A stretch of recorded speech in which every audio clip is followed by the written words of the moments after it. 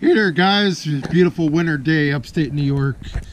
Got the uh, 50 cal CVA Wolf and you see uh, steel targets.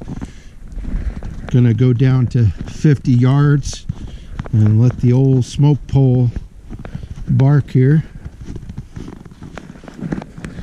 All right. Put my GoPro on. GoPro 5. All right, this is 50 yards.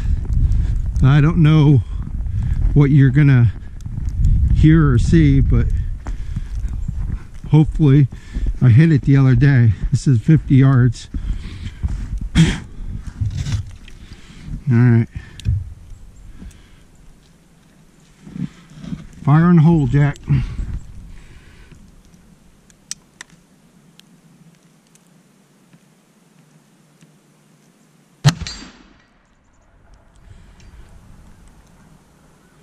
Definitely nailed it. oh yeah. PowerBelt bullet. See break open action. Take your primer out. that thing hit so hard it kicked it off of the the plate holder a little bit. GoPro action baby. Upstate New York. CVA Wolf 50 PowerBelt 245 grain bullets and uh, 100 grains of Pyrodex. Look that thing just smacked it boy smacked it.